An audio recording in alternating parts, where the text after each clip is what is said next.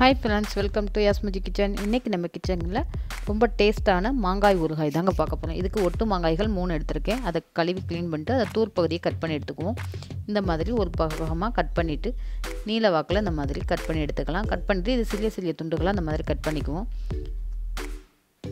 இது கட் பண்ண எல்லாத்தையும் ஒரு மண் பாத்திரத்தில் சேர்த்துருவோம். சேர்த்துட்டு இது கூட நாலு டேபிள் ஸ்பூன் கல்லுப்பு சேர்த்துக்கிறேன். உங்களுக்கு உப்பு எந்த அளவு தேவையோ அந்த அளவு சேர்த்துக்கோங்க.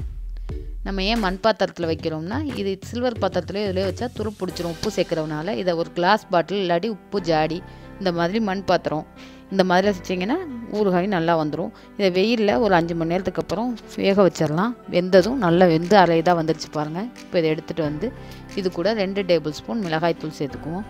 சேர்த்து இதை நல்லா மிக்ஸ் பண்ணி விட்டுடலாம். மிளகாய்த்தூள் எல்லா பக்கமும் படுற மாதிரி நல்லா புரட்டி விட்டுருங்க. இப்போ இது இருக்கட்டும். நம்ம இதுக்கு மசாலா ரெடி பண்ணிடலாம். இதுக்கு ஒரு கடாயில் ரெண்டு டேபிள் ஸ்பூன் வெந்தயம் சேர்த்துக்கிறேன். ஸ்டவ்வை லோ ஃப்ளேமில் வச்சு இந்த மாதிரி வறுத்து எடுத்துக்கோங்க. நல்லா வெந்தயம் வாசனை வர அளவு வறுத்துக்கணும். ரொம்ப கருகிடவும் கூடாது. கசப்பு தட்டிடும். இந்த மாதிரி ஸ்டேஜில் எடுத்துட்டு இதே கடாயில் ரெண்டு பெருங்காய துண்டுகளை சேர்த்துக்கிறேன். இதையும் வறுத்து எடுத்துக்குவோம். பெருங்காய தூளாக சேர்க்குறத விட இந்த மாதிரி துண்டுகளை சேர்த்தா ரொம்ப ஆரோக்கியமும் கூட. அதே கடாயில் நூறு எம்எல் நல்லெண்ணெய் சேர்த்துக்குவோம்.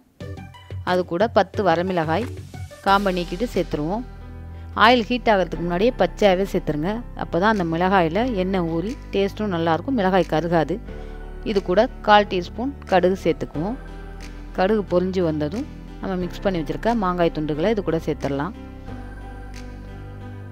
இது எல்லாத்தையும் சேர்த்து நல்லா மிக்ஸ் பண்ணி விட்டுடலாம்.